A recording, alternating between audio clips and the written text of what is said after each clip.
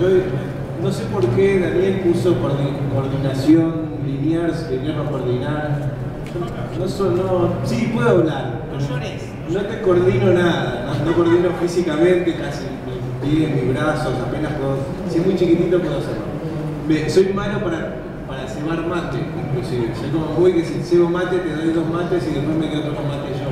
Soy muy egocéntrico. Sos bueno para motricidad fina.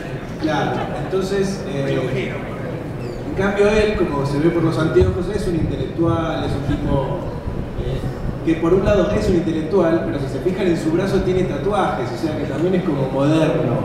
Entonces me parece que él sería como alguien que podría Así que vos coordinás.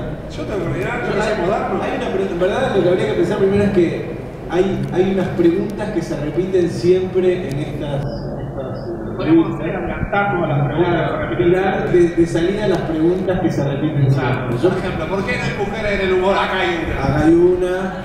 Ya está. Aplausos para Rocky. Aplausos para Rocky.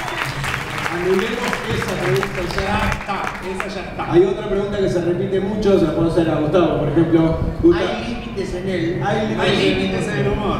No, no, no, ya sabemos que no hay límite.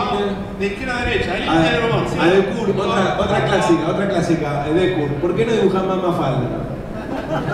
Una que se da siempre en este tipo de.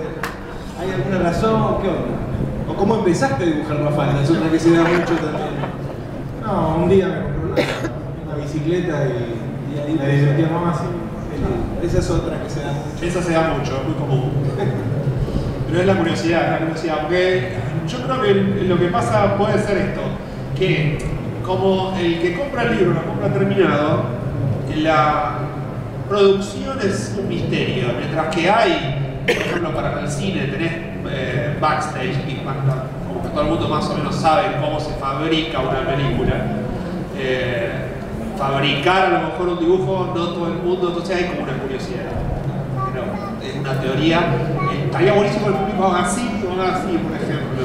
O este lado haga así, que este lado haga así. Ustedes lo van viendo, evalúen. Ustedes van evaluando.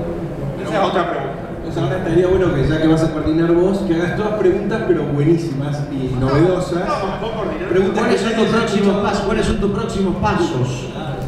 Esa es buena. ¿Cuáles son tus próximos pasos? Y acá está la puerta para ir cuando nos vayamos. Por ejemplo. Eh, pero yo haría eso, haría eh, que alguien haga preguntas muy inteligentes y después vamos uno a uno respondiendo inteligentemente. Implicaría que haya alguien muy inteligente. Ya ahí ya, te, ya arrancábamos en conjunto. Acá no